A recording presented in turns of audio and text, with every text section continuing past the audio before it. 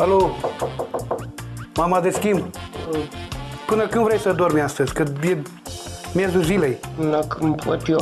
Păi și treaba ce nu faci? Tu. Eu, tot eu, și ieri, și astăzi, și mereu. De-aia mă lasă-mă în puii mei să dorm. Mai cu treaba și o mă machiaj. Ia lasă-mă în pace. Păi iar cu machiajul, iar Da, cu- cu machiajul mereu.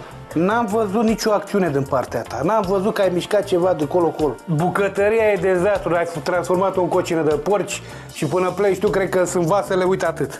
Trebuie să te faci o femeie de casă cum e soția mea. Și e greu să înțelegi Eu chestia ca soția ta?